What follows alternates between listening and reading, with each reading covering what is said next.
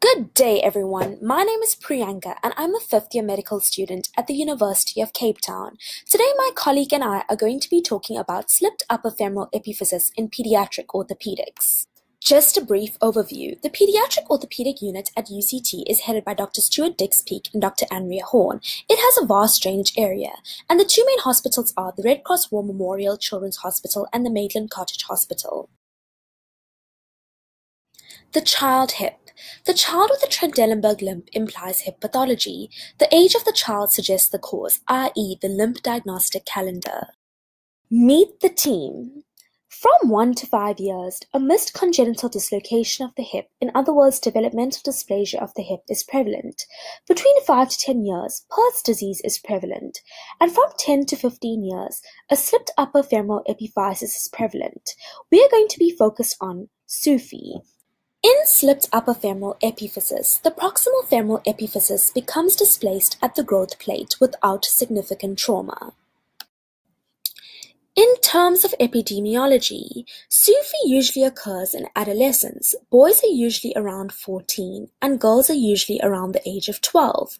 More than 50% of both boys and girls are overweight, which is what puts strain on the proximal femur. In terms of etiology, the exact cause is unknown, but current theories postulate that there are five main causes: hormonal, retroversion, hereditary, trauma, and rare causes. Rat experiments have shown that sex hormones close the growth plate and growth hormone increases the thickness of the growth plate and therefore makes it weaker. To elaborate further, increased retroversion of the femoral neck in these patients predisposes the femoral head to slip posteriorly. Repetitive trauma in obese patients acting off an abnormal growth plate could be a factor. Hereditary makes up 5%, and rare causes include primary hypothyroidism, pituitary tumors, hypogonadism, and renal rickets. Children presenting with a SUFE usually present with a gait abnormality, usually a Trendelenburg or an antalgic gait. More than 50% are overweight. In terms of movement, there is decreased abduction and internal rotation of the hip. The timing has to do with symptom duration, and hip pain is usually referred to the knee. There are five main types of slips: an acute slip, a chronic slip, an acute and chronic slip, a stable slip, and an unstable slip. In an unstable slip, 10% develop avascular necrosis. My colleague will now be taking you through to imaging. An AP radiograph of a slip. A positive Trethowan sign is exhibited. This shows the superior aspect of the femoral neck remaining superior to the head when a line is drawn through the image along the neck. Lateral radiographs of a slipped upper femoral epiphysis exhibits a positive Capener's sign, where the posterior part of the femoral head lies on the outside of the acetabulum instead of its normal position on the inside. There are two methods to determine the percentage of slip, the Wilson percentage method and the head shaft angle method. The Wilson percentage method is determined on lateral view. Mild slip is less than 30%, Moderate slip is between 30 and 50%, and severe slip is greater than 50%. Before management, one must establish the severity of the problem.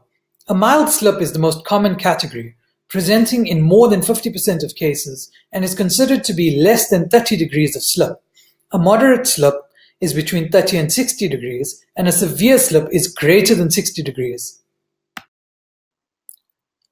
When managing, one must aim to prevent further slip and to avoid complications, which can be caused by manipulation or surgery of the femur. Therefore, pinning in situ is the preferred procedure.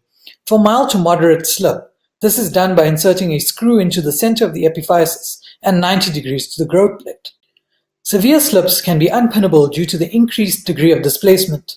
In this case, slow reduction of the hip in the abducted and internally rotated positions for a few days reduces the risks of complications. Persistent abnormal symptoms for one year after a severe slip are indications for an intertrochanteric osteotomy.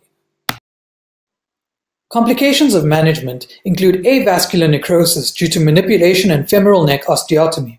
It is considered inevitable in an unstable severe slip. Chondrolysis, which is caused by a poorly positioned screw impinging on the joint space, and can also occur as a result of the slip.